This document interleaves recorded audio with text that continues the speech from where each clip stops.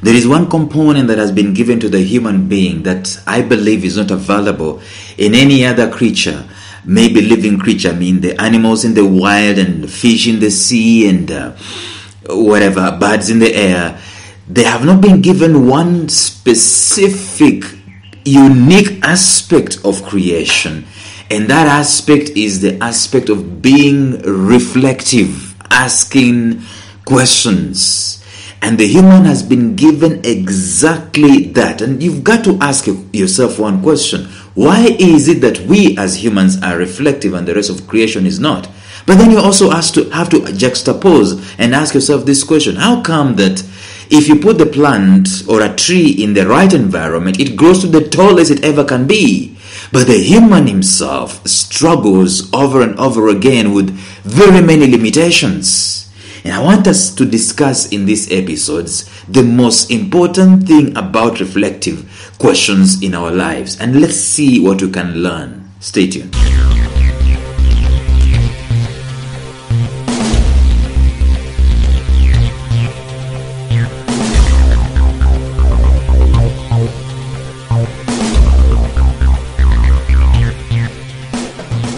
Welcome to the Life Signatures Podcast with Lawrence Namale. Lawrence is a life coach, author, and keynote speaker who loves to tackle different topics on purpose, productivity, and resilience. His mission in life is to awaken all your boundless possibilities available in you. Life Signatures podcast is dedicated to bring to reality every single person who knows that deep down in their gut there's got to be more to life than this. And now, here is your host, Lawrence Namale.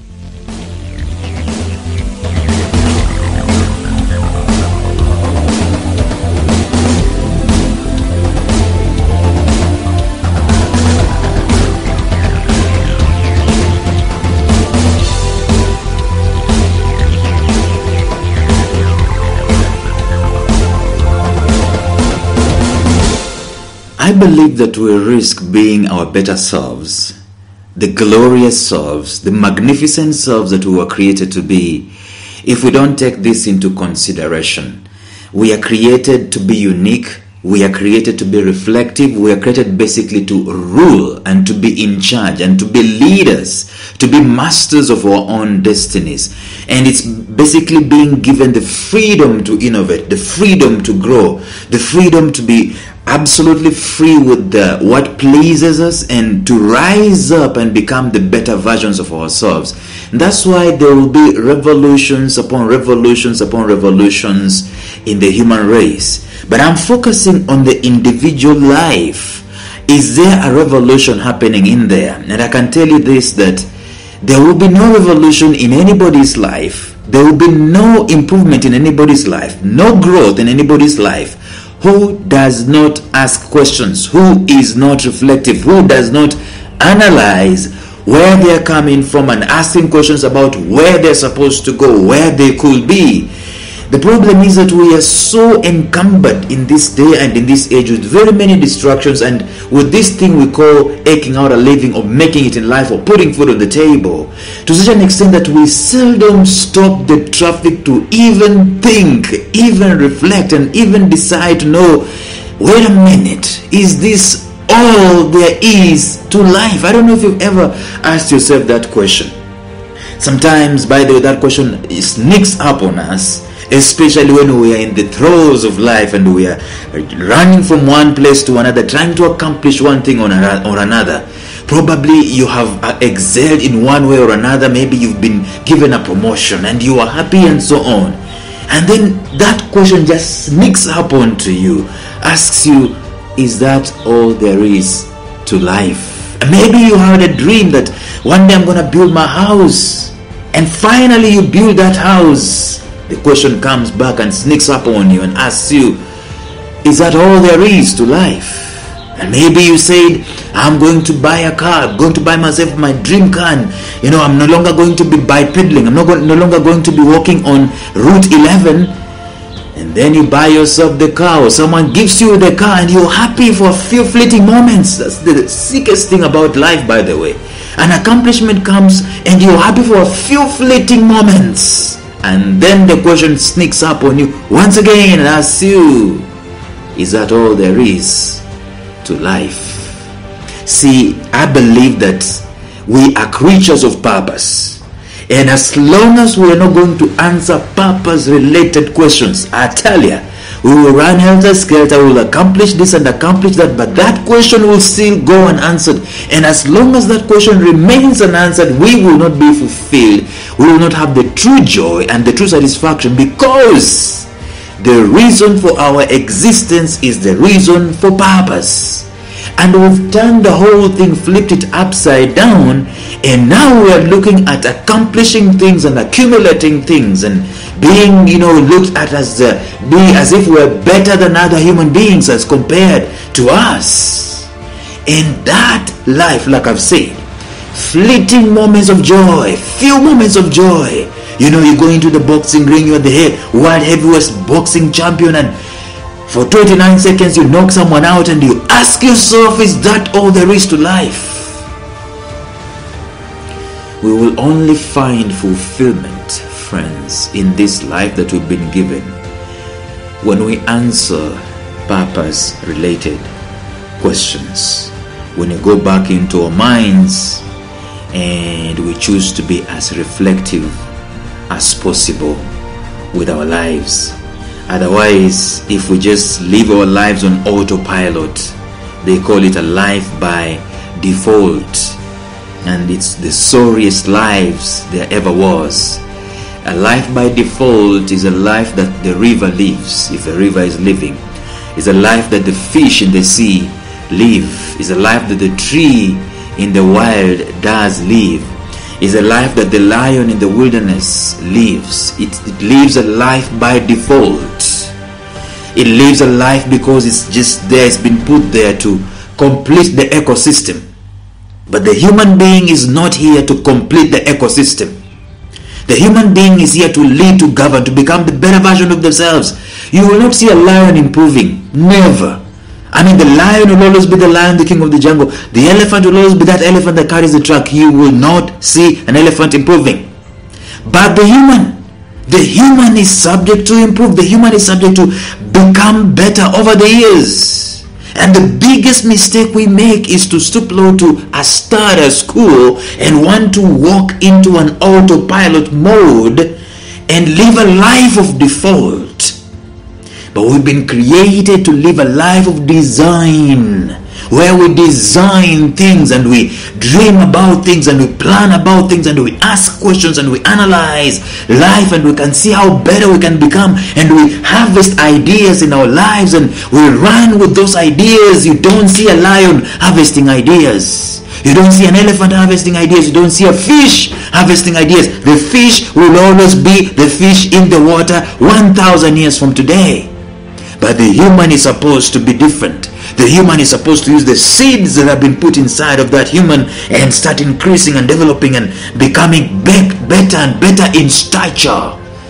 That's the call of the human to answer the call of purpose. And so I'm coming to us today in these few episodes to discuss the importance of being reflective you don't see a lion being reflective. You know, how did I hunt yesterday?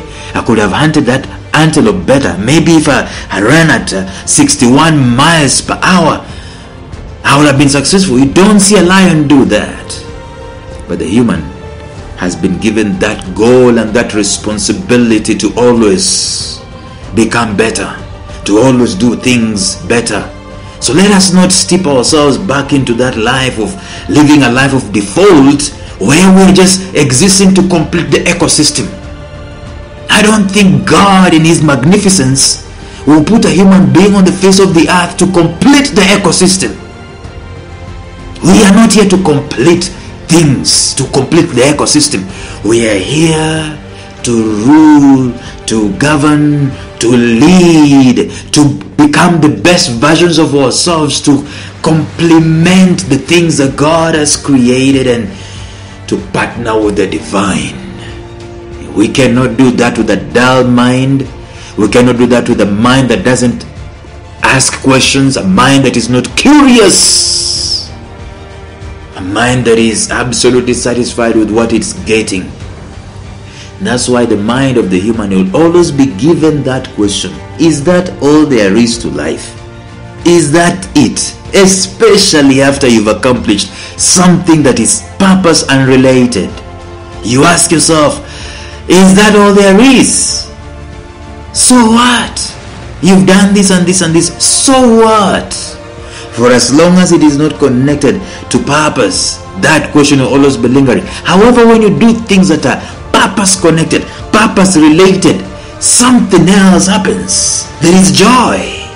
And you start asking yourself, how much more can we do? What else can we do? How much more can we give? How better can we become? And you're like, this is the most awesome life there ever was. There is basically nothing missing. And you're like, I need much more time. 24 hours are very few. I need much more time to do good to become the best version of myself. ah, that's the kind of life we're supposed to live, friends. Let me tell you that there is one major question that we're supposed to answer, and I, I know I'm going to discuss several questions that we're supposed to answer in our lives. But there is one major question that I'm going to discuss in the episode tomorrow that we are supposed to answer. I believe every human being must answer that question. In fact, I believe the reason for the existence of the human being is to answer that question. Is I mean, the question was there.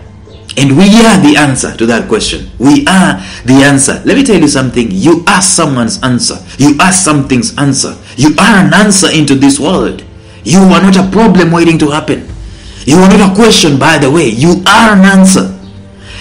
If we come to the realization that I am a solution waiting to happen, or I'm a solution already happening, or I came here to solve problems, I came here to be a solution to the ecosystem I came here to fix things, to create things, to contribute, to make an impact.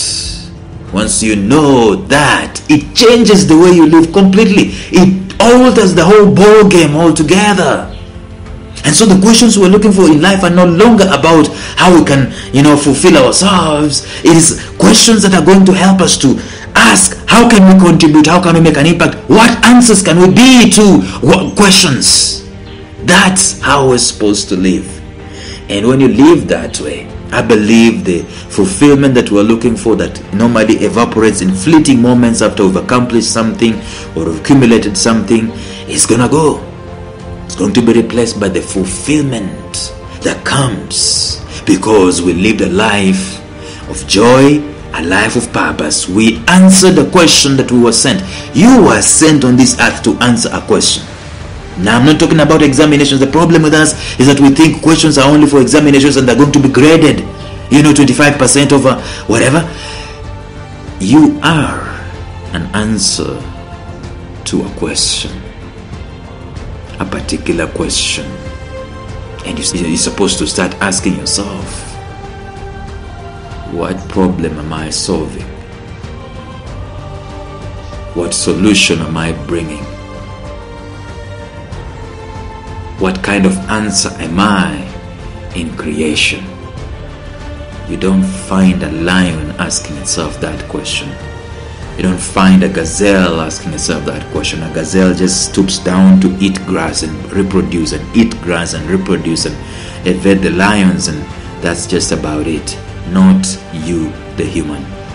Don't be like a gazelle getting out of the house, going to look for work then you go and you do the work and then you come back into the house and you repeat the pattern for 70 years then they tell you to quote unquote retire and then you expire out of this world in a whimper the crown of creation going back to die accomplishing absolutely nothing but living a life of default the same way the fish in the sea does that is not your portion as a human being. So I'm challenging us to start getting reflective and asking ourselves these all important questions. Be guided. I'm sure, even as you're listening, I am absolutely sure I can bet a thousand dollars on this that at one point in time, whoever is listening has always had that question asked of them in their spirits and in their hearts Is that all there is to life? And if you've had that question before, chances are that you're supposed to rise up and watch and find out what solution you are on the face of the earth. Until tomorrow, bye bye.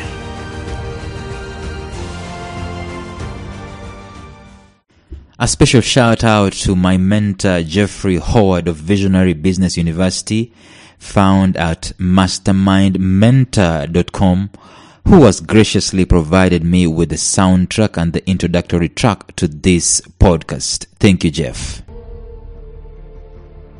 Thank you for listening to Life Signatures Radio. If you enjoyed today's show, subscribe to Life Signatures Radio on iTunes, Stitcher, or visit our website at lifesignatures.libsyn.com. Life Signatures Radio, fresh, clean, and inspiring.